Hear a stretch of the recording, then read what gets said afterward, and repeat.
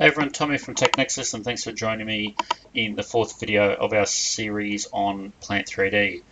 Now we've gone from reference dimen oh, sorry, from breakpoints, reference dimensions, ISO messages, floor symbols and flow arrows and today we're going to look at placing insulation symbols and location points.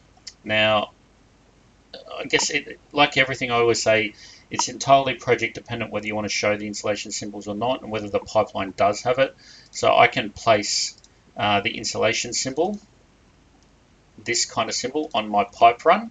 So when it appears on the ISO, it tells the installers that there is insulation on it. So if I look at the uh, line number, so it's 1008. So go to 1008, run it as a final and go create. And then we're going to see what um, what that symbol is going to look like on that isometric there as well. I guess you know, it's it's going to be personal preference. It's going to be someone from the, the client or the, the engineer is going to want this. So um, you might not necessarily always show it, but when you do have a need, uh, there's that symbol there as well. So that insulation doesn't have any properties on it. Um, so, you know, you, just have to go through and, and put the properties of the insulation on the pipe run. Um, but otherwise, if you look at the pipe run there, so there is insulation thickness and insulation type. So that's what you need to populate to place that information there. The other one is a location point. So this is similar to an ISO message, but it, it'll be a location for something. So if I look at the properties of it, so it's just a marker. So let's run that ISO again and I'll show you what we mean.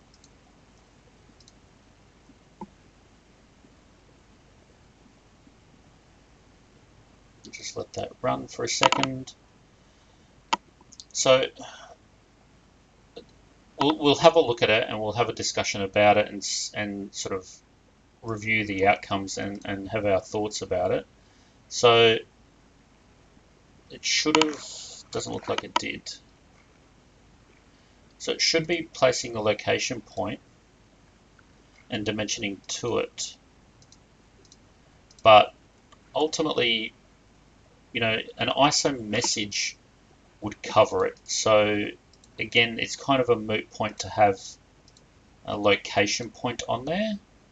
And again, I'd have to check my settings. I don't know why it's not reporting the, the distance to it or, or, what it is, but um, again, you're probably not going to come across it too much when you have something like an ISO message, which lets you put a little bit more information uh, into it. So they're the sort of last two that I wanted to cover today, installation symbol and location points. Um, and then for tomorrow, we're going to go through nominating a start point. Uh, so that's why I've sort of broken it down into these five days. So uh, thanks for watching short and sweet video today on these two symbols. So hopefully you got something out of it. Thumbs up if you liked the video, thumbs down if you didn't, but please do subscribe to the channel and click on the bell icon for daily notification of all, all of my videos. And I'll see you for the last video in our series tomorrow on playing around with the start points and seeing uh, what we can and can't do with it. So thanks for watching and I'll see you tomorrow.